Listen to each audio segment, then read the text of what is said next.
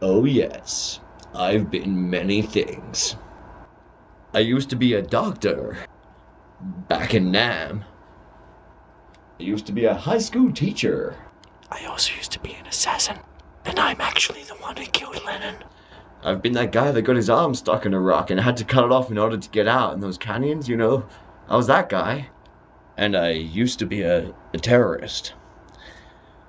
Actually, in the 9 11 job, I was on the first plane. And I was also a firefighter for uh, 9 11 as well. I've been many things. I've been a transvestite, A piece of cheese? the left foot of an ostrich, religion's lack of reason, and a packet of meagerine. Oh, I've been many things. Cricket ball, tennis ball, basketball, and a little boy's ball named Walter. I've been Michael Jackson's nose, Seinfeld's laugh machine, a semi-cooked piece of bacon, and a piece of weed that was owed to a friend and never returned. I've been that too.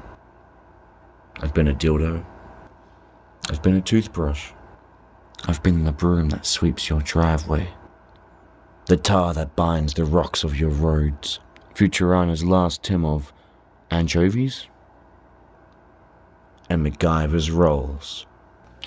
I also have a friend who's done many things. Been many things, but not as many things as him, because he is a degenerate.